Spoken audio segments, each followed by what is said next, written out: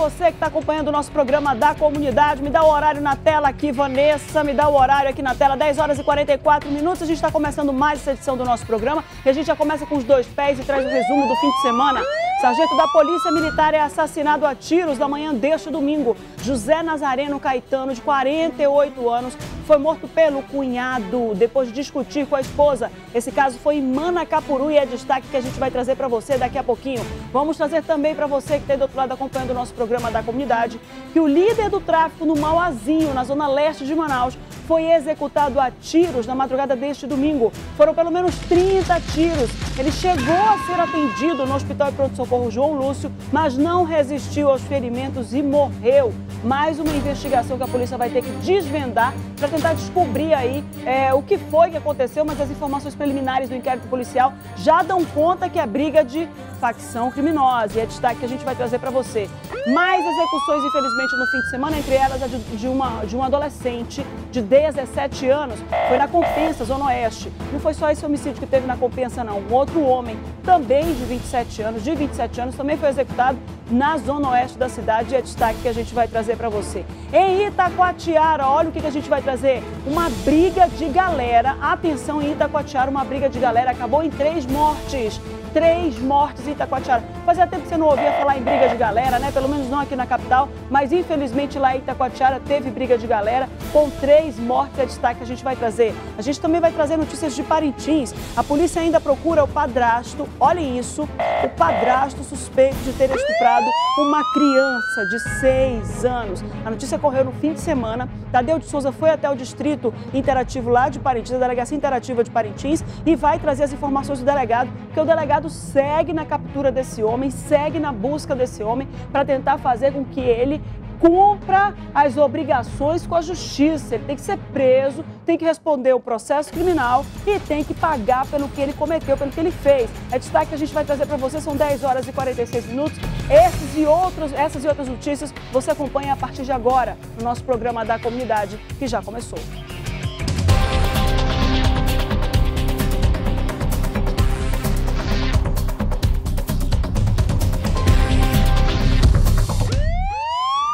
E fica ligado no nosso programa da comunidade, porque o fim de semana foi marcado por execuções, entre elas a de um adolescente de 17 anos. Quem vai trazer as informações pra gente aqui na tela, atenção você, vem aqui comigo, Carlinhos. Vem aqui comigo, é o Bruno Fonseca aqui na tela. Bruno, conta pra mim. Na compensa, zona oeste de Manaus, João Vitor Frois, de 17 anos, foi morto a tiros na noite de domingo por volta das 10 da noite. O crime foi no beco Santa Rita. Segundo a polícia, a vítima estava com a namorada e uma criança quando dois homens se aproximaram e efetuaram cinco disparos contra o adolescente.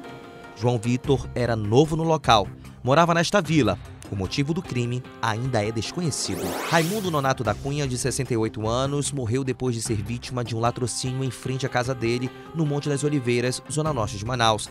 Ele estava indo para o carro quando foi abordado por dois bandidos que, armados, efetuaram um disparo no olho da vítima. Eles conseguiram fugir com a carteira do servidor público, mas foram presos logo em seguida.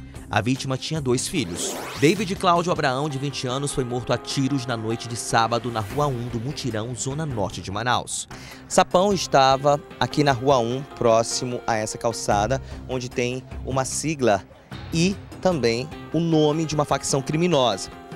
Foi quando ele foi abordado por dois homens em uma moto, até agora não identificados. Ele chegou a correr aqui em direção à Rua 1, mas quando chegou próximo a esse carro aqui, os homens efetuaram três disparos contra a vítima, que morreu na hora. Achei que eu vi um subindo essa rua aqui, ó, não tem essa rua aqui direto? Correndo com a, correndo com a arma na mão aí pra dentro dessa feira aí. A delegacia especializada em homicídios e sequestros investiga cada caso. Olha, deixa eu dizer uma coisa para você. Foram três casos que o Bruno Fonseca trouxe, dentre eles o de um cidadão, um idoso de 68 anos, que morreu depois de reagir a um assalto. Não sei se vai dar tempo para Vanessa puxar para mim. Olha o idoso. Eu, eu, não vou falar dos outros dois casos, porque os outros dois casos são casos claros de briga de facção criminosa, de acerto de contas pelo tráfico de drogas e, infelizmente, quem, quem planta espinho não vai colher flor. Quem planta amargura, tristeza e destruição nas famílias das pessoas vai colher a mesma coisa que está plantando. A gente está vendo aí os dois, um dos dois envolvidos nessas mortes todas. A gente está vendo aí que o, houve mortes porque, infelizmente, se meteram, as pessoas que morreram se meteram em confusão. Mas eu quero destacar esse caso aqui, que é mais um caso da repercussão da violência. Esses dois que você está vendo aí são os acusados, os suspeitos de terem matado o aposentado. Você está vendo as imagens aí? Um, inclusive, tem ali uma tatuagem, né? De uma folha de maconha no peito. Todos eles ali vaidosos, querendo é, estampar no corpo as suas convicções pessoais, que não nos interessam, só interessa a eles, e cada um que resgate as mazelas das convicções que, que, que produz na sua vida. E, infelizmente, está aí o, o jeito que eles escolheram viver. Também resultado de políticas públicas sociais, mas, enfim, a gente não vai entrar nesse mérito aqui. Os dois estão com a prisão é, preventiva deles decretada e a gente destaca mais uma vítima, mais uma vítima dessa criminalidade, mais uma vítima dessas, disso tudo que está acontecendo na nossa cidade. Segundo as primeiras informações colhidas aí em depoimentos na delegacia, eles disseram que atiraram no ex-funcionário ex lá da Cefaz porque ele reagiu a gente sempre destaca aqui essa, o perigo dessa reação e, infelizmente, não se tem como você saber como você vai reagir num momento como esse. Porque, afinal de contas, quem está roubando a pessoa também está tão nervoso quanto, está com medo de ser morto, está com medo de ser pego pela polícia, está com medo de ser assassinado. Mas quando a gente vê um, um indivíduo que é um cidadão de bem, uma pessoa que trabalhou a vida inteira, que está usufruindo da sua aposentadoria, e aí vem dois cidadãos, dois populares, como esse aqui que a gente está vendo nas imagens, e acabam com a vida desse pai de família, deve ser avô, deve ser, devia ser avô, uma pessoa que fazia parte de um convívio social honesto, correto, e foi assassinado num latrocínio. Quantos casos de latrocínio nós já trouxemos hoje? Nós, nós já não trouxemos nesse ano de 2018. Quantos casos de pessoas de bem que estavam na rua, passando, pedindo pelo amor de Deus, para que esses ladrões, essas pessoas que estão aí à margem né, da sociedade, marginalizados na sociedade, não levassem a vida da pessoa, que levassem os objetos, mas que não levassem a vida da pessoa. E a gente traz mais um caso desse com pesar. E infelizmente não foi só isso. Olha o que eu vou trazer para você que está do outro lado. Presta atenção. Lá no Japim, Olha só que imagem forte que a gente vai trazer para você. Lá no Japim, um mercadinho foi assaltado na principal rua do Japim, que fica na Zona Sul. Eram pelo menos sete pessoas que chegaram em três motos. Para que tudo isso? Seis homens e uma mulher. Nas imagens você vê que a dona do mercadinho foi abordada e aí ela, infelizmente, começou a travar meio que uma luta ali com, com, com o algoz dela. Ela chegou a ser ferida. Olha você que está do outro lado, a facada que ela levou foi uma facada na mão. Olha que violência. Com que direito que pega o cabelo da mulher desse jeito? Com que direito que ele chega desse jeito e faz esse abuso, essa ousadia? Olha, olha só o que, que a gente vê nesse vídeo. Parece que ela percebeu que a arma era de brinquedo e reagiu, mas ele estava com uma faca. E aí um dos, uma dessas pessoas envolvidas estava com uma faca, né? O que estava envolvido ali, olha aí, ela chegou a travar uma luta, o homem obviamente não atirou, mas é um perigo você fazer isso. E aí vem o homem e dá uma facada no braço dela, braço esquerdo, parece uma facada, não sei se atingiu ali uma, uma artéria na mão e no braço, né? A gente está acompanhando aí, começa a sangrar muito a mão dela, ó, você vê aí, ó, o braço dela sangrando. Gente, o que, que é isso? É inacreditável a gente ver uma cena dessa. Inacreditável. Você vê o cliente jogado no chão de mão levantada, pedindo pelo amor de Deus para não ser assaltado também. Eles voltam. Pensa que eles vão embora? Eles não foram embora, não. Eles voltaram de novo. A mulher está lá fora pedindo socorro, toda ensanguentada, ensanguentou o mercadinho todo. E eles ainda voltam, levam o celular da, da, da dona do mercadinho, levam o que tem dentro do, do, do das gavetas. Um absurdo, né? O que, que é isso? Agora dá para ser identificado? Vai dar para ser identificado. A polícia vai saber direitinho quem é. Todo mundo, o caso foi registrado no terceiro Distrito Integrado de Polícia, que fica ali no Petrópolis. É, ninguém foi preso até o momento, mas vai dar para descobrir quem é. Porque estão de boné, mas sabe pelos trejeitos, pelo jeito de conduzir ali a coisa. A mulher viu o rosto de, dele. Como é que está o estado de saúde da mulher? Como é que está o estado de saúde da mulher, Vanessa? Já foi liberada, graças a Deus. Segundo informações aqui, ela foi, ela recebeu atendimento médico, foi para uma unidade de urgência e emergência, recebeu atendimento médico e já foi liberada, está viva e bem. Volta para mim. Volta para mim aqui no Chicão, aqui no Chicão, volta para mim aqui. Não foi dessa vez que esses indivíduos Criminosos tiraram a vida de mais um cidadão de bem. Não foi dessa vez. Ela está viva, está bem, vai colaborar com o inquérito policial e vai continuar trabalhando viva e bem com a família dela e trabalhando honestamente. Agora, os indivíduos que estão envolvidos nessa criminalidade vão responder processo, vão ser presos porque o que é bom mesmo é que seja preso. Ninguém quer que ninguém morra, mas o que é bom mesmo é que seja preso. Vai preso, porque tem que estar preso quem está causando esse, esse, esse, desespero todo da sociedade, causando toda essa instabilidade, trazendo essa insegurança toda à, à população, tem que ser tirado da sociedade, né? Assim, é para isso que funciona a cadeia. A cadeia não é só para, ah, tá lá atrás das grades, porque tá pagando uma pena, não. A cadeia, ela reclui, ela tira a pessoa, coloca a pessoa dentro de uma, dentro de uma cela para poder tirar do convívio daqueles que estão vibrando numa energia diferente, né? Eu estou bem, estou trabalhando, estou estudando, e vem o indivíduo que acabar com a paz e serenidade da sociedade. Então, vai para dentro da cadeia, vai pensar direitinho a vida, o que vai fazer para poder recuperar. E olha, deixa eu dizer uma coisa para você. A gente, infelizmente, precisa colocar aqui na cabeça, ó. Não vou reagir, não vou reagir, não vou reagir, não vou entregar tudo, vou entregar celular, vou entregar chave de carro, vou entregar moto é, é ruim, é complicado, porque você está trabalhando, só você sabe o tempo de vida que você dedicou para o seu trabalho, para ganhar aquele salário e poder comprar os seus bens. Mas você ainda tem muito tempo de vida pela frente, se Deus quiser e Nossa Senhora permitir. Você não tem que ficar perdendo sua vida por causa de um bandido safado, sem vergonha, que está ali querendo levar suas coisas. Entrega, depois você ganha de novo, de novo recupera. Delegacia de roubos furtos de veículos, o dia desse fez uma operação, devolveu mais de 40 motos aos proprietários. É melhor você perder a moto e tentar recuperar, recuperá-la depois do que perder a vida, porque vida não se recupera. Vida não se recupera. Nessa encarnação não, vai ter que esperar entrar na frente para poder voltar de novo. Vida não se recupera. Então não adianta você perder sua vida. Eu não posso me esquecer e jamais esquecerei o técnico lá do IPA que morreu na parada de ônibus, que teve que conversar com o assaltante, fazer, não leve meu celular, que está minha, minha tese de mestrado, meu trabalho, meus estudos estão todos dentro desse celular, por favor, não leve meu celular. Não sei porque ele não guardou num HD externo, não sei porque ele não guardou no pendrive, mas ele estava ali pedindo e não adiantou. O homem levou o celular e ainda matou o técnico do INPE. 10 horas e 56 minutos.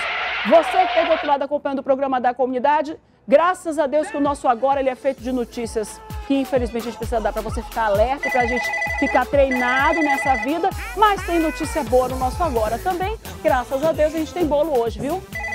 Agora eu fiquei doce? Cadê aquela música do Agora eu fiquei doce? Gentileza, minha filha, como foi seu fim de semana? Foi bem? Trataram você bem nesse plantão? Gentileza nossa boneca que representa educação, representa a boa convivência, a harmonia. Quando alguém, uma pessoa de boa conduta, quando alguém está chateado dessa redação, olha pra gentileza e imediatamente se acalma. Agora eu fiquei doce, doce. Obrigada doce, pela música. Agora eu fiquei doce. Nosso bolo da comunidade de hoje. Tá aqui o bolo da vovó Tereza. Dá mais um pouquinho aqui, né, Carlinhos? Tá bom aqui, né, Carlinhos? Pronto, fiquei com o dedo melado de calda de limão. A pessoa não tem nada que pegar no bolo, né? O bolo já está organizado. O que, que a pessoa tem que pegar no bolo? né? 3307-3950 é o telefone para contato. Você liga para cá e aí você pede para participar do nosso Agora Premiado. Tem... Eu vou ter que fazer isso, gente. Eu vou fazer o quê, né? Tem um guardanapo. Não é bonito. Eu sei que não é bonito. No intervalo, pior que o entrevistado tá aqui olhando, daqui a pouco eu ainda vou ter que apertar a mão do entrevistado com a, com a mão toda babada, doce, segurada de doce. Quer um pedaço de bolo? Depois eu dou um pedaço de bolo. Mentira, eu não vou poder dar, não. O pedaço de bolo que é do telespectador, gente. Não vou poder dar. Metiche, Ricardo, nem devia. 3307-3950 é o telefone para contato para você poder participar do nosso sorteio do bolo da vovó Tereza. Tem bolo no Parque 10, no Dom Pedro, tem lá no Parque das Laranjeiras e tem Casas da Vovó Tereza, que fica lá no Parque das Laranjeiras, onde você senta, come um bolo de chocolate. O entrevistado gosta de bolo de chocolate, hein? Vai ter que. Gosta de bolo de chocolate ou bolo de limão? De chocolate, né? Chocolate com limão, tá ótimo. Me dá uma fatia do bolo de chocolate e uma fatia do bolo de limão, que aí fica bom. Tá vendo você? Então esse bolo de limão aqui vai para você, liga pra gente 3307-3950, não diga alô, diga bolo da vovó Tereza, a primeira casa de bolo caseiro de Manaus. Tá dado o recado. Olha só, gente. Dia 21 de setembro foi comemorado o dia é, da pessoa com deficiência, quem também está aí, quem está nessa luta para poder ter uma vida acessível, as calçadas lá rebaixadas para quem é cadeirante, né? Sinais sonoros nos semáforos, nos elevadores, né? Leitura em braille para quem está precisando pegar o elevador e entender direitinho qual é ali o andar que está precisando. E tem quem está procurando vaga no mercado de trabalho. São as pessoas com deficiência, que apesar de existir uma lei que obriga as empresas com mais de 100 funcionários a destinarem vagas para os deficientes, muitos deficientes não conseguem ocupar esses postos de trabalho. Vamos acompanhar na reportagem. Todos os dias no trabalho ela recebe as pessoas assim. Olá, eu sou Andresa Vieira. Uma má formação congênita paralisou as pernas aos 18 anos. Hoje, aos 33 anos, é casada, tem um filho e trabalha numa empresa do ramo de motos ama o que faz. É espetacular, porque eu gosto de lidar com as pessoas. No meu dia a dia, aquela correria de estar recebendo, de estar recepcionando, de estar recebendo as visitas dos diretores, dos gerentes. Então, para mim, é um leque de oportunidades de estar no meu dia a dia conhecendo pessoas novas. Nós estruturamos a, a fábrica para que ela pudesse receber essas pessoas. Então nós, nós conseguimos organizar desde a portaria, os ambientes coletivos, os restaurantes, os locais de acesso na fábrica, tudo isso foi preparado para no segundo momento a gente receber essas pessoas. Formada em administração, Luciene nasceu sem uma parte do braço. Ela dá conta da casa, do marido, do filho e agora se prepara para um novo negócio saí de mercado há pouco tempo, onde eu trabalhei numa multinacional e vi uma oportunidade de criar o meu próprio negócio. Ah, ela também dirige e muito bem. Pessoas com deficiências querem respeito, acessibilidade, querem um mercado amplo, com vagas, porque assim como eu e você, eles também têm o direito ao trabalho e também têm direito à acessibilidade e inclusão. Nancy Segadilha sofreu um acidente de carro há 10 anos e a chance de sobreviver era de apenas 5%. Na época, era estudante de direito. Depois de sair do momento mais crítico, conseguiu se formar. Hoje, ela é presidente do Conselho Estadual dos Direitos da Pessoa com Deficiência, o CONED.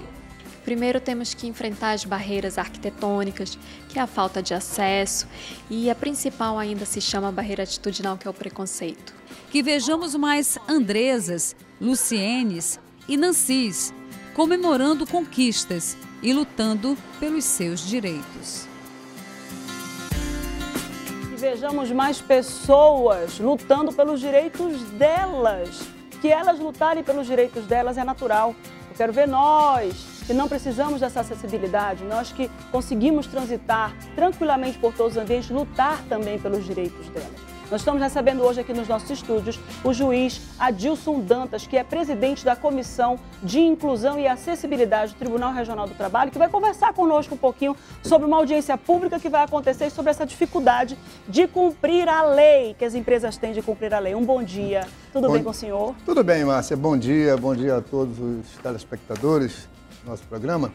Realmente, como você falou, há uma dificuldade muito grande de se cumprir a lei mas há também uma grande má vontade em se cumprir a lei, nós não podemos negar esse fato. É verdade que em algumas situações as empresas têm dificuldade no preenchimento de vagas por conta das peculiaridades do serviço. Algumas empresas, por exemplo, que possuem uh, um número de, de empregados superior a 100, elas exercem as suas atividades em locais um pouco distantes da capital, no interior do estado do Amazonas, dar um exemplo, por exemplo, a, a, dar um exemplo, por exemplo, é ótimo. Vamos usar como exemplo a, as empresas que atuam na área da bacia dos Solimões na, de, na extração de petróleo e, e, gás. Você sabe, nós sabemos que é realmente uma, uma, um acesso complicado, porque é no meio da mata, no meio da floresta, são 14 dias em regime de internato, com 14 dias de folga. Então, esses são alguns complicadores naturais. Mas aqui na nossa cidade, aqui na capital, essa é uma justificativa que já encontra uma dificuldade imensa de ser aceita, porque nós temos que adotar uma postura inclusiva em relação à pessoa com deficiência. Minha amiga Nancy Segadilha, né, ela colocou. De linda, Nancy, muito... viu, Nancy? Tu é linda, Nancy. Tu devia vir fazer reportagem aqui na TV. Vem pra cá, trabalhar aqui Também na TV. Também acho, né? Também acho. A Nancy é uma guerreira, uma batalhadora da causa da inclusão da pessoa com deficiência. Por isso que nós nos propomos a discutir barreiras visíveis e invisíveis. Essas visíveis são essas que a Nancy falou, arquitetônicas, dificuldades com toaletes, dificuldades de chegar no local. porque você tem, uma, você tem escadas, você não tem rampa para o cadeirante, por exemplo. Mesmo a pessoa que, que precisa utilizar muletas tem dificuldade né, na hora de é, ter acesso a determinados órgãos, determinadas empresas. Nós temos as barreiras invisíveis e a pior delas é o preconceito. É achar que a pessoa com deficiência não tem condições de ter o mesmo nível de produtividade, de eficiência que uma pessoa sem deficiência tem. E a prática e às vezes nos tem mostra. até mais, porque tem mais motivação, tem mais força de vontade para se superar e superar todos esses conflitos que a gente Mas olha, eu posso te dizer isso é, dentro da minha experiência prática, daquilo que eu vi. Eu conheço servidores lá do Tribunal Regional do Trabalho que são portadores de deficiência e têm um nível de produtividade muito maior do que outros servidores que não têm deficiência alguma. Então, é efetivamente Só a uma deficiência da questão. preguiça, né, doutor? É, exato. A deficiência da preguiça é um, é um, é um, é mal crônico, né? Infelizmente, né? Tanto que algumas religiões tratam até mesmo como se fosse pecado É capital. um dos pecados capitais. Exatamente. Então, a, a preguiça realmente é a mãe de vários é, outros vícios. Outros né? vícios. Mas o que acontece? Essa questão do preconceito, ela implica na, a- na necessidade de nós mudarmos a cultura que existe no nosso país. Nós ainda temos essa cultura do preconceito. Preconceito de vários níveis. Preconceito contra a mulher, preconceito contra é, é, determinadas, é, é, determinados setores da sociedade, que aí Sim, com, sim. com deficiência, sem deficiência, mas a questão da deficiência, que é o nosso foco, ela realmente merece uma discussão mais aprofundada. Nós não podemos nos acomodar e apenas dizer, ah, não, nós temos que fazer uma reforma. Sim, temos que fazer uma reforma. Há pouco tempo atrás, eu estava conversando com uma pessoa e ela disse assim, olha, lá em determinado local, é um laboratório, os exames só são feitos no segundo andar e não tem elevador, né, e, e é somente pela escada. E eu disse, bom, vai ter que mudar, porque pela lei brasileira de inclusão, a LBI, que é a 13.146, é preciso que todas as pessoas tenham acesso ao mesmo serviço, que embora seja privado, é um- uma clínica, um laboratório, embora o serviço seja privado, mas ele é de oferta pública. Então, ele sendo de oferta pública, ele não pode discriminar em função de uma deficiência física o acesso de determinada pessoa. E olha, eu vou dizer uma coisa para vocês que estão aí do outro lado e a gente vai conversando aqui, o senhor vai me corrigindo se eu estiver enganada. É, o acesso, ele, ele traz dignidade àquele cadeirante de ele conseguir chegar ao local por conta própria. Não se enganem, porque a mera ação de vamos carregá-lo, isso é constrangedor. Então não adianta ter escada, não ter rampa e dizer, não, mas se aparecer um cadeirante aqui, nós carregaremos o, o- o- o cadeirante, vamos pegar os funcionários. É constrangedor e eu já vi isso acontecer com uma amiga minha de trabalho. Estávamos fazendo um curso no, no, para a Secretaria de Saúde e tinha uma escada enorme e ela usava muleta. E propuseram na hora, ela disse, não, eu não vou conseguir subir essa escada, vocês têm como fazer a aula em outro lugar? Não, vamos te ajudar, vamos carregar você. Não, eu me posicionei contra, falei, de jeito nenhum. Ou desce todo mundo e faz a aula aqui, ou então ela não vai subir, ela vai ser liberada e vai para casa. E não vai ter prejuízo. Porque eu não vou deixar que a minha colega seja carregada. Isso é, in- isso é inconcebível numa sociedade como a que a gente vive hoje, em pleno século XXI, e a gente precisa se conscientizar disso. Desde a vaga no estacionamento, eu fico horrorizada. Eu e meu marido, quando a gente entra num shopping, que tá lá as vagas para idosos, cheia, as vagas para cadeirante, todas ocupadas, e a gente fica olhando, nossa, quantos deficientes tem nesse shopping hoje? Deficiente da cabeça só. Deficientes mentais, exatamente. São deficientes mentais, porque quem ocupa a vaga de idoso, de gestante ou de cadeirante, não estando enquadrado em nenhuma dessas ca- características, né, dessas categorias, deve ser um deficiente mental, tem que ser retardado. Né? Porque não é possível, não é admissível, não é, é- é minimamente civilizado que alguém em plena condição de rigidez física pare o seu veículo na vaga destinada a uma pessoa que tem uma dificuldade de locomoção. Você destacou muito bem, Márcia, essa questão da autonomia que precisa ser dada à pessoa portadora de deficiência, porque não é realmente ela depender de ajuda, de migalhas, né, de esforços, de... não, ela precisa ter autonomia, né, de se deslocar de um local para outro, porque isso é uma questão de dignidade. Exatamente. Isso tem que ser valorizado. É- é- é- Esse atendimento da autonomia, ele valoriza o princípio da dignidade humana. Então nós não podemos permitir que a pessoa com deficiência seja sempre alvo né? ou ela seja Dos sempre olhares. dependente É. da ação de um bom samaritano ou de quem quer que seja para ajudá-la a chegar em, em determinado local. Ela tem que poder chegar, ela tem que ter a oportunidade de poder chegar da maneira que ela quiser, da maneira que ela e o caminho puder. que ela quiser tomar. né? Exatamente. Dia 26 de setembro, a partir das 8h30, de 8h30 até 1 hora da tarde, vai ter uma audiência pública. Exato. Como é que a pessoa faz para comparecer? Qual é o objetivo dessa audiência pública? Como é que vai ser lidado com essa situação lá no Fórum Trabalhista daqui de Manaus? Exatamente. 26 agora, na próxima quarta-feira, de 8h30 até às 13 horas, nós teremos uma audiência pública exatamente com esse objetivo de discutir essas barreiras visíveis e invisíveis que ainda existem, existem contra a pessoa com deficiência. Como é que se faz para se inscrever? Nós temos um e-mail que é o... Que está na au- tela aí, rapidamente. Isso. Pode dizer, pode dizer. Exatamente. É o audiência.pública.trt11.jus.br. Uhum. Nós temos também a possibilidade de inscrição através do telefone, que é o 3621 7202. Uhum. Mas essas formalidades, esse envio de e-mail ou ligar, é mais para aquelas pessoas que querem manifestar-se oralmente. Quem pode se manifestar durante a audiência? Qualquer pessoa.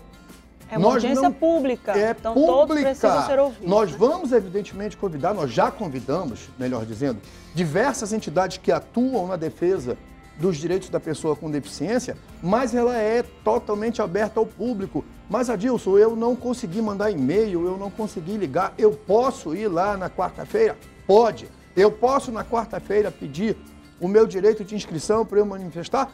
Pode. Nós vamos, evidentemente, limitar o tempo de manifestação de Sim. acordo com o número de inscrições, porque senão nós, passamos, nós passaremos ou poderíamos passar o dia inteiro discutindo aquilo ali, vararíamos a noite e não terminaríamos de abordar todos os temas que são eh, conexos com esse assunto. Mas nós esperamos, sim, contamos com a participação da sociedade, dos órgãos que foram devidamente convidados, para que a nossa audiência pública possa produzir um documento que vai ser levado ao conhecimento das autoridades, de todas as autoridades constituídas, nos diversos segmentos, Poder Legislativo, Executivo, Judiciário e nas três esferas, municipal, estadual e federal. Então todos estão convidados no dia 26 de setembro, a partir das 8 horas da manhã. 8h30 começa tudo, é bom chegar um pouquinho antes para poder pegar a vaga e tudo. O auditório do Fórum Trabalhista de Manaus fica na rua Ferreira Pena, número 546, no centro da cidade. Tem um site também onde você pode acessar o ed- o edital dessa audiência pública, obter outros detalhes e regras sobre essa audiência pública. E paralelo a isso, você está vendo ali o edital, ó, www.trt11.jus.br. É o site do Tribunal Regional do Trabalho, 11ª Região. Então você pode obter essas informações através do site, pelos telefones que nós já informamos e pelo e-mail também. E é aquela história, em vez de a gente só ficar reclamando, reclamando, reclamando, a gente vai lá, se manifesta e colabora para que se- sejam criadas políticas públicas de acesso, políticas públicas de inclusão, políticas públicas para trazer dignidade. É por meio dessas conversas, dessas audiências, dessas manifestações das entidades, é que isso tudo acontece. Doutor Adilson, muito obrigada por ter vindo hoje aqui. Eu não vou poder dar um pedaço do bolo para o senhor, porque o bolo Que é uma lástima, diga-se o de passagem. tá Eu saio daqui com Muito. essa vontade. Eu quero deixar registrado meu protesto, né? Exatamente. Né? Exatamente. Muito obrigado pela Eu oportunidade. que agradeço. Mais uma vez, reiterando o nosso convite e aguardamos a participação da sociedade. E você que está aí do outro lado, continua ligado com a gente. São 11 horas e 12 minutos. A gente vai para um rápido intervalo. Daqui a pouquinho a gente está de volta. Não sai daí, não.